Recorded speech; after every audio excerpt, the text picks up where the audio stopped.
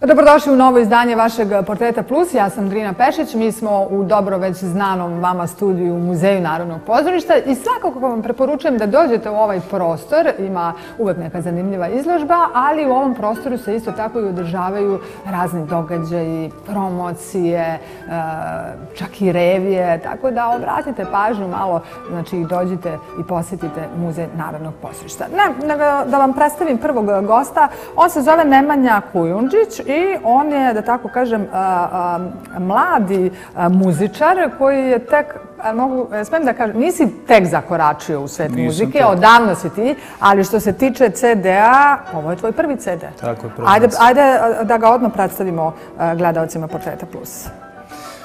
Pa evo, ovaj, kao što si rekla, nisam tek, ja sam već 14 godina ovaj, u, u tom poslu, ali evo, skupio sam konačno snage da kod tebe pre ovo je stvari premijera kod tebe u emisiji, prvi, prva pa emisija. Ekskluzivno, ekskluzivno dobro, da. a, odlično. Ovaj, to je CD sa osam pesama. Dobro. Uh, ne znam da li da spomenem autora. Naravno, tu sam naravno. Ja, tu sam ja kao autor, ovaj, da kažem, na tom CD-u. Tu je producirao sve moj prijatelj Zlata Timotić, Dobro. Dragan Brajić Braja, Josef Zjević, Sanja Arsić uh, i tako dalje. Dosta muzičara, dosta učestvovao ljudima, osam pesama. Ja mislim da će bar biti jedno tri hita. Tri hita. A, nadaš se, veruješ, da? Da, da. O, koja od ovih? Šalim se, bar, bar jedna pet. Pa pet do dvanest, recimo, dobro, je meni dobro, onako. Dobro, dobro. Još neka? Ostan je pesma koju sam ja pisao. Tako Ostane ova druga pesma, jest, dobro, po redu, po redu, dobro. To je ovaj moj tekst i melodija. To, dobro. I aranžman je čak moj tu nešto. Ovaj, tako da je jedna lepa celina onako ispala i nadam se da će to ljudima da se svidi. Kaži ti meni, koja je ovo e, zapravo vrsta muzike? Šta? Pa vidite ovako, tu ima, tu ima svega u suštini. Kada me pita neko kakav je album, kakva je koncepcija, da. tu ima od e, nekog latino zvuka preko modernog današnjeg nekog zvuka da kažem, ne ono rap i tako dalje, ja nisam u tom, ja sam više pevač. Ovaj, e, Nisi pa, reper? Nisam, nisam reper. Ovaj... Pa dobro, sad opet ti reperi dobro prolaze. Pa dobro, naravno, naravno. Ukus... Opet se vraćaju te 90. Ne treba dobro, ti si još ovaj, mladi, ali dobro. Ovaj, tako da ima i, i, ovaj, i čak ima jedna narodna dobra pesma, kako kažu ljudi, dvojka. Ima ovaj, jedna balada koju sam ja isto radio, koja se zove Dođi mi. Ja sam tu pesmu... Ali čekaj, ti to tako olako kažeš koju sam ja radio. Pa dobro, ali to je isto... Nema, mislim, mnogo ljudi u svetu muziku koji sami sebi... Pa ovaj, je li tako? E sad, kako si to, kako si taj talent otkrio? Pa evo tu pesmu, recimo, dođemo na osmo po redu. Nju sam, nju sam, nećeš verovati, sa 17 godina svojih, kada sam bio zaljubljen u tom trenutku, sam ovaj, seo za... A izvinja, koliko sad imaš godina? 30. Dobro. Ovaj, tako, seo sam za, za klavir, inače završio nižu muzičku, pa umem da, eto, da se služim ovaj, instrumentom.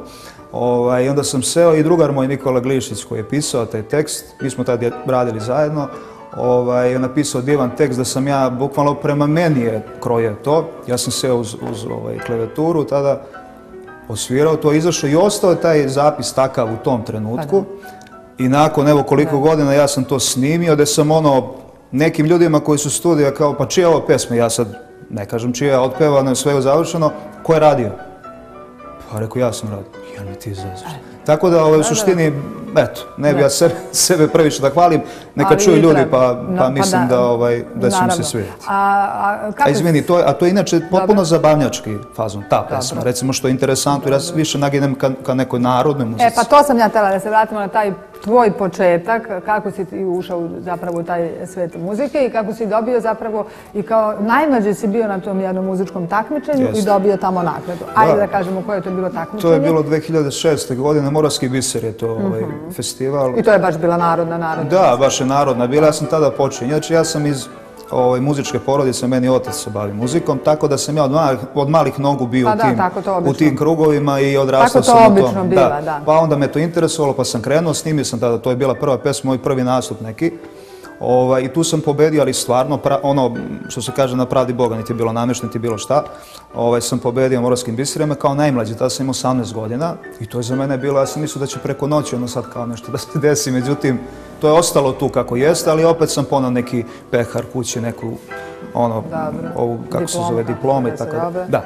Ovaj, tako da mi je to bilo jedno, jedno novo iskustvo, pa sam zatim učestvo Dragi Šanević festival 2007. godine u Vrinačkoj banji, Ovaj, tu sam snimio fenomenalnu pesmu koja je potpuno u maniru, jer ja sam inače rodom iz Čačka, ali u Beogradu sam već skoro 20 godina. Ovaj, tako da, ono, vuče mi te korene i, i normalno je da, da, da tu dobru moravsku pesmu ume da otpevam. Pa je to počelo, recimo, se pušta na radio Beogradu. Isto bez ikakve urgencije, bez... Ono, ljudi znači, su možda nešto i bez urgencije, ti to hoćeš naravno, stvari naravno, da, naravno, da, objasnimo. Ovaj naravno, ovaj, ovaj, mislim da kvalitet uvijek dođe do izražaja pre ili kasnije. Pa, ali možda ovaj. malo, malo teže, ne? Jeste teže. Pa ja sam već 14 godina u tome, samo što imam ja svoj put. Neki to je ljudima oko mene, mojim najbližima, neshvatljivo da ja sam toliko istrajan u tome i evo, to je rezultat upravo moje istrajnosti. Sada izgledam album, kreće promocija, I to je nešto što mislim da svaki čovjek treba sebe da osluškuje i da svoj put gradi. Ali šta je važno da bi se nekako progurao, da bi isplivao, jer mnogo je, mislim sad nećemo da govorimo jeli, kakvi su ti muzičari o kvalitetu i tako dalje, ali mnogo je vas. Kako nekako e, doći do, do, do, do, do, do publike? Pa ja imam ovaj svoju teoriju. Treba biti svoj, verovati u sebe i verovati Bogu i verovati u ono što radiš biti istrajan u tome. Ali moraš i da radiš na promociji, moraš da budeš u emisijama, da, da, da. moraš... I biti svestan sebe, svojih kvaliteta. Ja sam svestan vrlo sebe, ne volim to da ističem, ja više volim onu, onu parolu daj mi mikrofon da otpevam, čuj ako ti se to sviđa, a obično su uvek bile ovaj, dobre, pozitivne, pozitivne kritike, pozitivne reakcije, čak i od mojih kolega, što je to ovaj, onako malo... Čudno, šta? Čudno kod nas, pa jeste. Da priznaju, a? Da. A dobro, svi ste, jedni, svi ste vi jedni drugima ovaj, konkurencija. Konkurencija, jeste. Tako da sam ovaj, od malih nogu, bukvalno u, tom ovaj, smislu bio da, da, da ono, otpevam pre nekim starim kolegom i ta sam shvatio da je to znam u stvari. A sad reci ti meni, pošto imaš taj put i stalno govoriš o tome da imaš taj neki svoj put i svoj cilj, hoćeš da nam kažeš koji je sad uh, tvoj dalje put, koji je, šta, šta želiš zapravo ti da ostvariš? Pa evo ja želim da stvaram i dalje svoju muziku, da se prikažem... Ali mora neko i da čuje tu da, muziku? Da, da, da, se is, da ispromovišem to što, ovaj, što sam sada uradio, Dobre. da ljudi čuju to kako, mislim naravno kako oni čuju, a čuće najbolje. Ovaj, I da dalje ulažem u sebe, da dalje stvaram, da i da dođem jednog dana u, u poziciju da mogu da i održim svoj neki koncert i da imam jednostavno svoj neki pravac. Eto, to je to. Ali kada postaneš poznat i popularan, nemoj da zaboraviš opet da dođeš ovde u, pa, evo, ja. emisiju. Iskreno ti kažem, bilo je dosta ovaj, uh, takvih umetnika, čak i glumaca. Ja sam, oni su me podsjetili, ja sam čak nešto i zaboravila, ali dobro, ima dosta, dosta ljudi prolazi kroz ovu emisiju. Tako znači, da, ovo može da bude talija. Može, samo da ti kažem. To sam u stvari drugim rečima da, htjela da ti reći, kažem. Da, da. A, ali, a, znači, to ti je cilj da to sada... Da, ispromovišem na najbolji najbolji mogući način i eto, bar ja sam se šalio malo pre tri, ali, tri ali hita, ali bar jedna pesma. Da. muzički obrazovan? Jes, nižu muzičku imam završenu. Ali je ti smeta kada ljudi koji, kako bih rekla, e, nemaju nikakve veze pa, sa muzikom, su potpuno,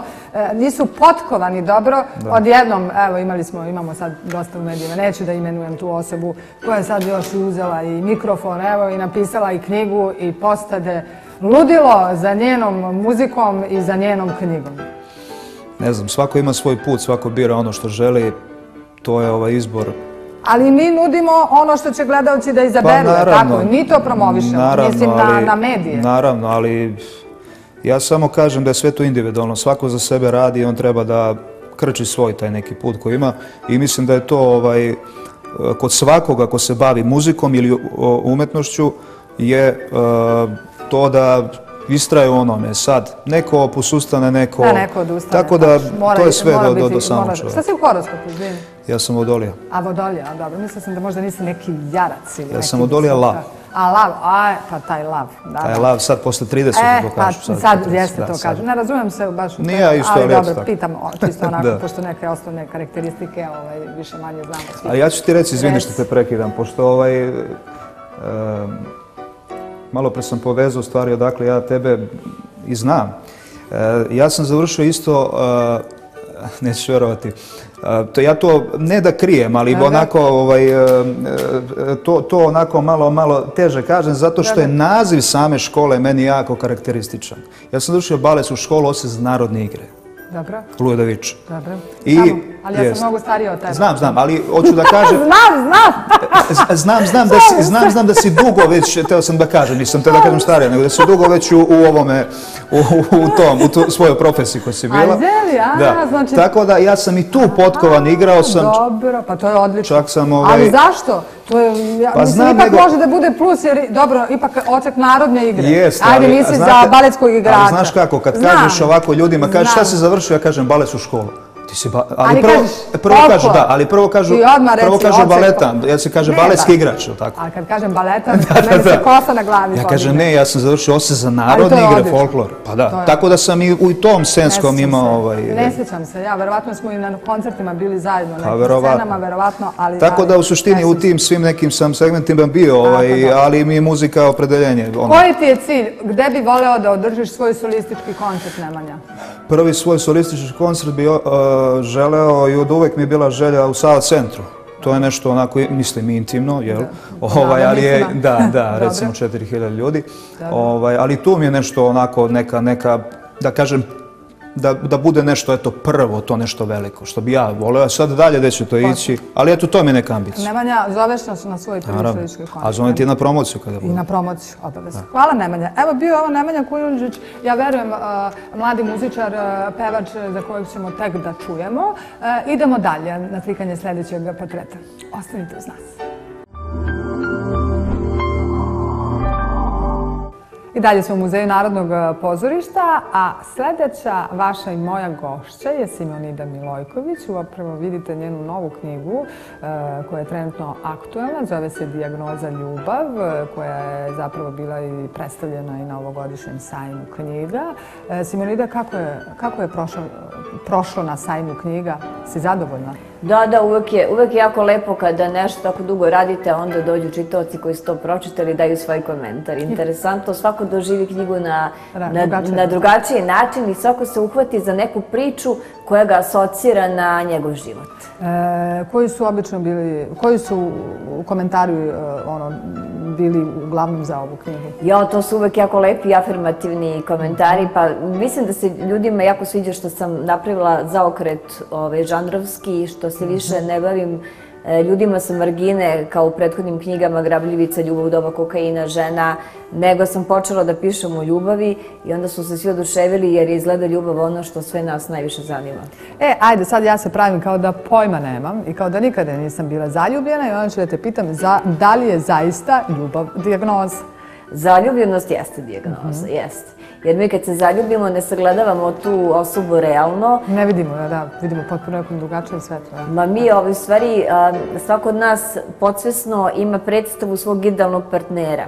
I onda kada em, sretnemo neku osobu koja ima jednu ili dve osobine sa tog našeg spiska, mi onda ovako zalepimo čoveku etiketu i zalepimo mu lik tog našeg idealnog i onda se jako razočaramo, naravno, kada original ne odgovara našoj projekciji i predstavi I onda kažemo, pa šta mu bi, pa šta mu bi, odjedno više nije tako divan, baš je bio princ na početku, u stvari on nikada i nije ni bio princ, bio je normalan, to realan čovjek sa manama i, i vrlinama koje svi mi imamo, a mi smo to tako umislili, umišljaju naravno i oni kada od nas Da. prave princeze, Da, da, da. pa onda kao ju šta joj bi. Tako da zaljubljeno zaista jeste to neko osjećanje sužene svesti, ali je mnogo lepo. Mnogo je lepo i, i zaljubljenost i kokain deluju na isti deo mozga. Mi smo jako raspoloženi, euforični, ne moramo ni da spavamo, ni da jedemo. Sve nam je divno, svi su nam divni. Zaista kao, kao neko stanje, a i, i ponašamo se kao zavisnici, jer moraš da budeš tom osobom Da. stalno. Što češće, što duže, pa ja, evo dva sata mi nije poslao poruku, pa panika. Da, da, da, da, jeste. narkoman u krizi, zaista ima, ima dosta dodeli tačaka. Ali dobro, ne razočaramo se baš uvek. Ne, naravno, deš, desi se kada zaljub, da zaljubljenost preraste u ljubav. Onda je to lepo jedno stabilno stanje, jer zaljubljenost je glad, a ljubav je hrana. I onda kada preraste u to mirno stanje, onda može da bude i jeste jako lepo i prijatno. Da onda posle postoji drugi problem kako sačuvati ljubav. Da. E, pa, a, je li i o tome ima u knjizi? U knjizi ima o jednoj ludoj zaljubljenosti između psihijatra i glumice. Zapravo psihijatar reši da pravi ogled naučni nad glumicom i da je dovede u stanje zaljubljenosti, da ona poludi za njim i da napiše naučni rad da li je zaljubljenost vrsta psihoze. Dobro. Međutim, dok on to sve radi, ona jedna naravno poludi za njim jer ne zna šta on radi. A on za njom? E, zaljubljuje se i on u nju. I on u nju potpuno nesvesno i on poludi za njom i onda na svom primjeru vidi da zaljubljenost jeste vrsta psihoze. On se tu malo igrao, igrao, igrao. Znaš kako kažu, ovaj, on, se, on je računao pa se preračunao, a onda je dobio završni račun u kom pa piše u ljubavi nema kalkulacije. Pa da. Pa da. Simulina, ti si zapravo novinar, je tako, novinarka bila? Ja sam novinar i knjižani, zapravo sam pisac, pišem. Dobro. život Ali si krenula zapravo sa novinarstvom, je li tako? Ja sam krenula dok sam studirala novinarstvo na političkim naukama, ja sam krenula sa pisanjem tekstova za pevače. Taj je turbo folk bio u ekspanziji, to su 90. godine. Dobro. Bila je, bila je dance muzika i bio je turbo folk i ja sam tada pisala od lepe jesi to, kri, jesi to krila ili? Do Miroslava ili što bi krila, Nisi, pa da šta treba da kriješ kada kradeš dobro, nešto, kada lažeš, dobro. kada varaš ljude, što bi krio da pošteno od svojeg... Pa evo vidiš, evo današnji gost rekao da krio, odnosno krije kako je završio baletsku školu i ocek folklor. Pa dobro, možda, možda, možda... A nije ništa strašno, tako? Možda u tim ranim, u toj ranoj mladosti čovjek imao probleme s vršnjacima, umeju djeca da budu jako surova. Ja sam prosto zarađivala svojom olovkom, ovaj, pisala sam pesmu. To je, mislim, isto... Je to više ovaj, ne, ne, ne radiš? Nažalost, ne. ne. Sad sam do duše, kad sam napravila predstavu Ljubav u doba kokaina, napisala sam tekst za song Ljubav u doba kokaina koju su otpevali Aca Lukas i Ivana Selakov. Mm. Aca uradio muziku, on je Marko Cvetković, ja sam napisala reči i eto, eto to, mi, to mi je bilo posljedno da napišem neki tekst. Pa jel, jel razmišljaš da to ponovo počneš da radiš? Pa ne, nekako svakih nekoliko godina ili decenija menjam žanr. Prvo sam pisala pesme, pa sam onda 16 godina bila novinar u Blicu, pa pišem knjige, pa pozorišnu predstavu, sad me zanima da pišem scenario za TV seriju. A, znači to je. Hoćeš, možda imaš nešto već u planu? Neki pa ja imam već pripremnu tu moju grabljivicu. Grabljivica je ovaj, neiscrpna tema. Aha, dobro, neiscrpna dobro. tema, isti je ispost jedne sponzoruše, zapravo priča o nama, o, o, o Srbiji, o našoj političkoj, ekonomskoj, društvenoj sceni, o krizi morala, kulture, svega onoga što nam se dešavalo krajem 90-ih, 2000-ih i danas, naravno, ispričano iz vizure jedne sponzoruše koja posle postaje prostitutka. Jako jako interesantno kako nas ona vidi, jer ona je naš produkt. Mi smo je stvorili. Mi smo stvorili pogodno tlo iz koga niču takve devojke koje su koristoljubive, koje se zabavljaju s muškarcima zbog novca. Mislim, jadne devojke, stvarno.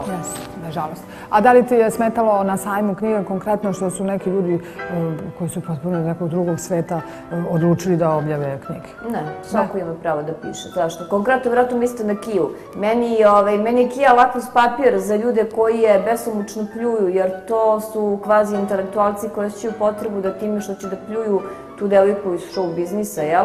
Ove, hoće da dokažu kako su oni jako gadljivi, kako je njihov ukus istančan, jer su oni bogati sa engleskog dvora. E, previše tu... Ja sam rekla kako na taj način se može da se promoviše. Previše... Kako bih rekla da neko ko nikada nije pročitao ni jednu knjigu, eto makar pročita neku knjigu. Pa eto, mislim, to je, da. recimo, moje ja tu knjigu nisam, kad neko počne da pljuje, ja kažem, jesi pročitao? Kažem, ne, ja kažem, a kako? Pa kako onda može da pljuješ ako nisi pročitao? Možda je devojka slučaju neki vanserijski talent, ne znam, nisam pročitala. Ali od uvek je bilo da zvezde show biznisa i kod nas i u svetu pišu svoju biografiju. Ja nisam čula još da te devojka tvrdi da je književnik. Ona je zapisala neku svoju priču, iskoristila neki svojih pet minuta, ne baš te problem s njom. Više su mi simpatični ovi drugi, jer znate šta, kad govorite o drugima, vi mnogo kažete o sebi.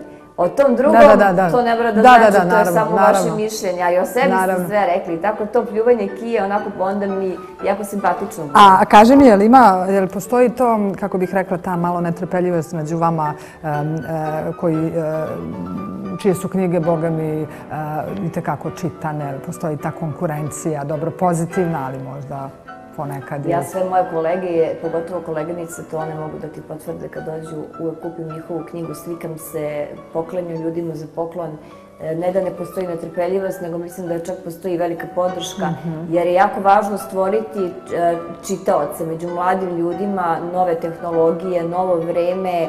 E, bojim se da polako izlazi možda iz mode kod mladih ljudi da neko sedi da čita knjigu. Da, Reći, nažalost. uzme mobilni telefon. I onda, ako kupi knjigu moje koleginice, pa mu se svidi, pa kupit će i moju. Ako kupi moju, pa kupit će i od, i od, i od Da, mog kolege. Prosto je dobro stvoriti čitalačku publiku, a ljudi, ja mislim da stvarno kupuju više od jedne knjige Da. u dve godine, a to je neki ritam u kom ja objavljujem, pa sigurno neće da kupi samo moju, kupit će još neku, ne, ne, naprotiv uopšte. Naprotiv, dobro. Da li e, nastaje neka nova knjiga, pišeš? Ja, ja, ja ne mogu da verujem koliko ova knjiga izašla tek pre mesec dana, ove, koliko ljudi navaljuju da napišem O, nastavak.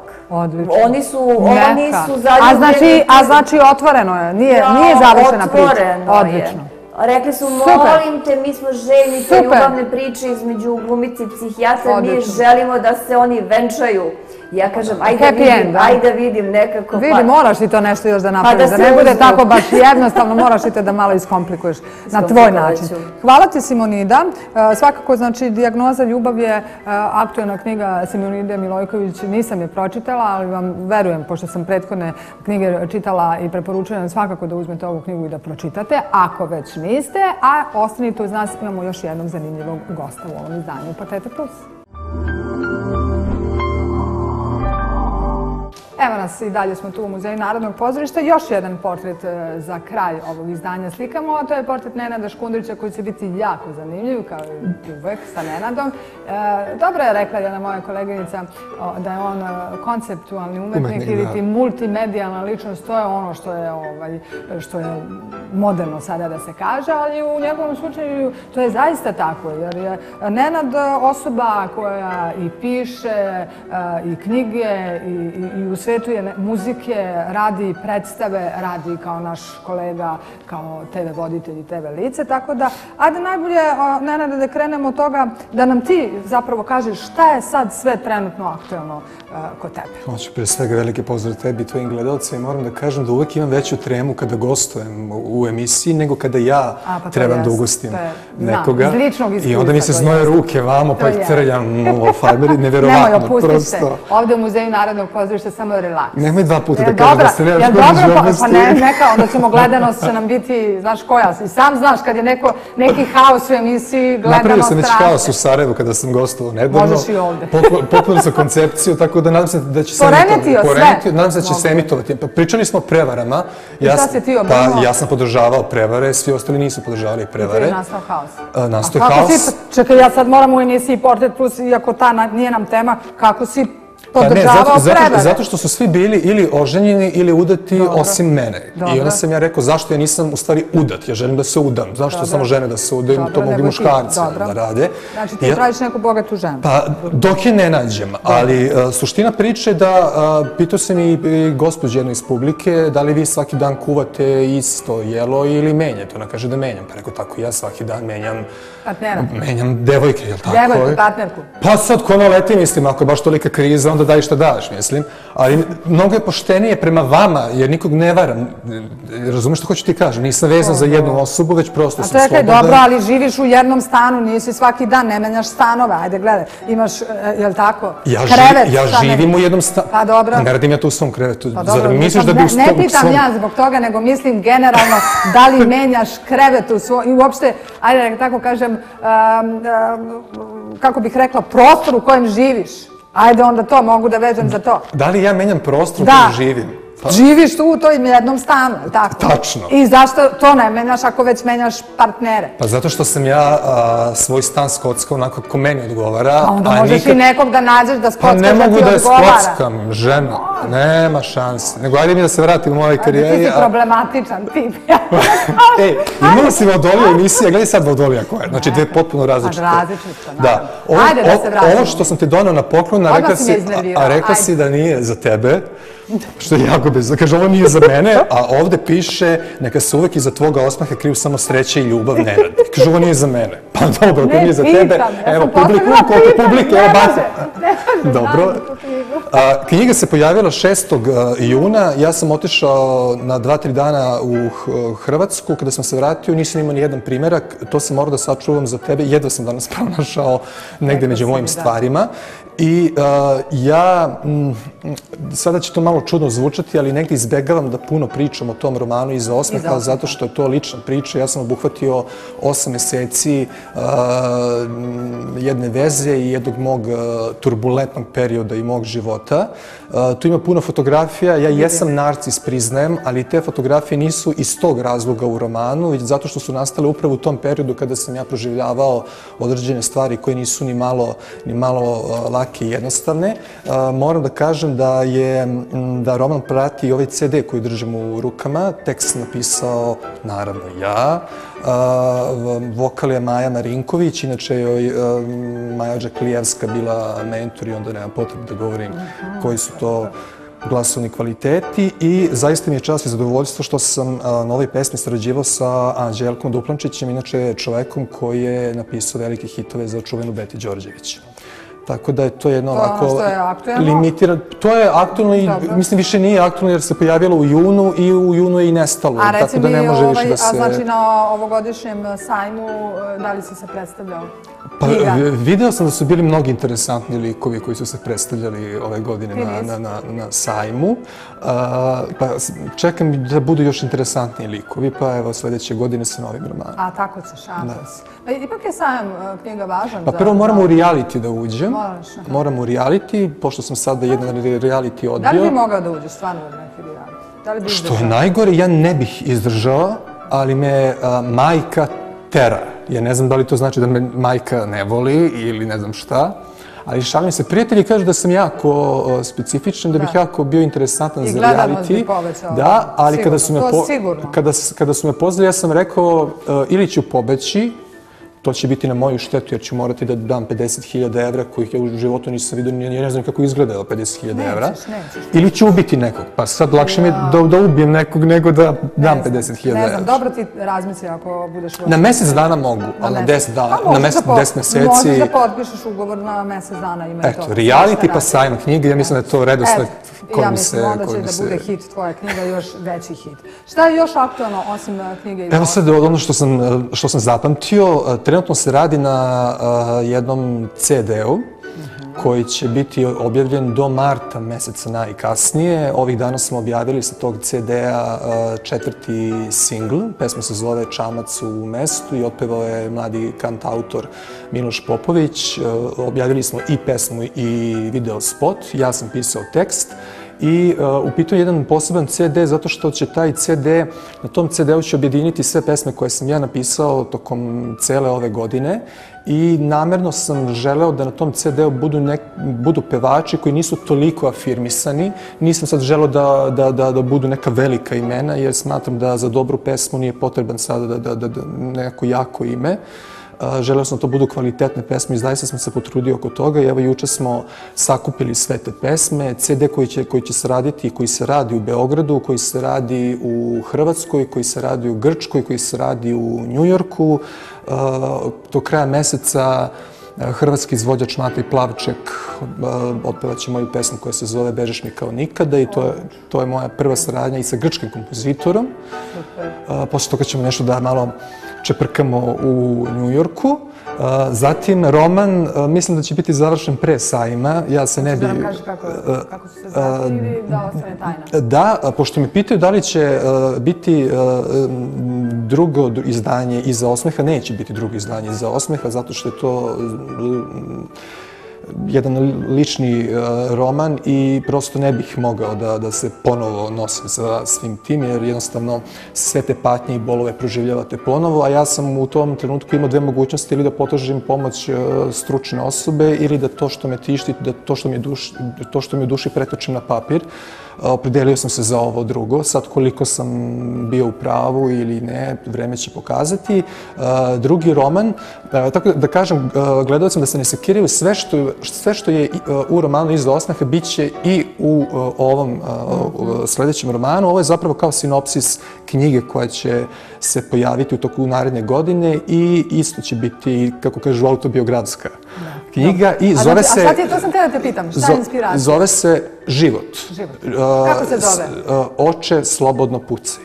Znači, život ti uglavnom, e, mislim, to te... Pesme nastaju a, iz mog života, ono što pišem nastaje iz mog života i mislim da samo li- lično ja, ja ne osuđujem apsolutno nikoga, ali ja a, bilo kojim poslom da se bavim moram da unesem emocije, moram da unesem nešto svoje lično, inače to apsolutno nema nikakvog smisla. E, imali smo jednog mladog e, muzičara također na početku ovog Vodoliju. portreta Pl- plus, jeste Vodoliju, ali je lav podznak i to je isto opasno. Ja sam blizanac. E, i to je isto možda komentarišem. Ali ovaj, e, ka, kako ti komentarišeš uopšte situaciju na estradi? Pa meni je to super, vidi. Sad kad mene pitaš, uh, ja kada sam uh, dao intervju pre godinu dana za jedan crnogorski dnevni list i kada sam rekao propje, propjevaću, Dobro. kako oni kažu, za, za, za svoju dušu. Mnogi su mislili da se šalim, čak i moji. Međutim, ja sam prošle godine objavio jedan singl i to je bio duet sa pevačicom nemačkog porekla. I onda su shvatili da se ja ne šalim. Uh, meni lično ništa ne smeta. Mislim da je sve stvar uh, izbora i uh, niti pomenuta, nismo ispomenuli ime, mislim da nema ni potrebe, znaju gledalci na, koga mislim i ko se pojavio Da. na sajmu. Nemam ništa ni protiv realitija, mislim da, uh, inače ako gledalci ne znaju da bi napisali jedan roman, pa ne morate ni da znate sve padeže, dovoljno da znate sva četiri padeža, tako da je vrlo lako napisati roman. A, roman, knjigu, a, on, takvu knjigu kakvu je ona napisala. Pričam sada o profilu te, te knjige. Ništa, hvala ti, Nenade. E, samo, uh, me ako to ne kažem, Reci. moram Evo, da ne damo. kažem, evo, Ne. a, nova predstava, to moram da, Ajde. da, posle, Ajde. ko vama dade predstavu uh, sa Jelicom Sretenović, Zoranom i Dobro. Nigorom, koja je aktuelna i dobili smo i nagradu, naravno, za najposjećeniju predstavu u, u prošle godine. Najavljujem novu predstavu čija će premijera biti u martu, aprilu mesecu sa mladom glumicom Jelicom Brestovac. A, odlično, znači to je dalje. Pa ja sam shvatio, eh, ja sam prvo mislio da je voditeljstvo nešto što me potpuno inspiriše, pa onda muzika, međutim, eh, ta komunikacija sa publikom i osmeh koji ja dobijam od njih ta je najveći aplauz koji neko može da doživi na sceni, E, tako da je gluma moja profesija. Lepo ja kažem da si ti multimedijalna ličnost. Hvala ti, Nenada. Evo. Dragi gledalci, ja bih svašta još nešto rekao, ali mi ne, može, dozvoljava. Ne može, nemamo više vremena, ali se zato vidimo uskoro ponovo u Portretu Plus. Došli smo do kraja i ovog izdanja vašeg Portreta Plus. Ja sam Drina Pešić i puno vas pozdravljam iz Muzeja Narodnog pozorišta. Doviđenja.